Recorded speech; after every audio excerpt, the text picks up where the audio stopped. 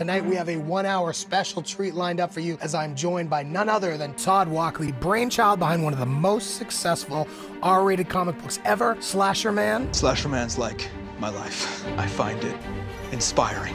I'm gonna be honest with, with you, I haven't found my ending yet. This is a road trip that will be really fun and really informative. We are staying in all motels. They're all rural and they're all real.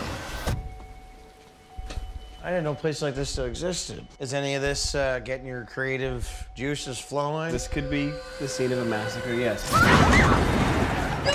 we are in the middle of nowhere. We need to figure this out. Yes. Oh my god, what is going on? Is there a concern that Slasher Man could push the already unstable over the edge into violence? I've drawn, what, a thousand kills? Once in a while, one of them might match up with something that happens in this country. We need to call the cops. And tell them what? That it's a killer running around recreating murders from my comics? What is it? Oh my oh god. Todd drew this.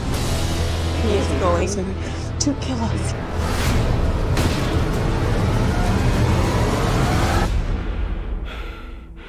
I can't wait to show you. this stuff.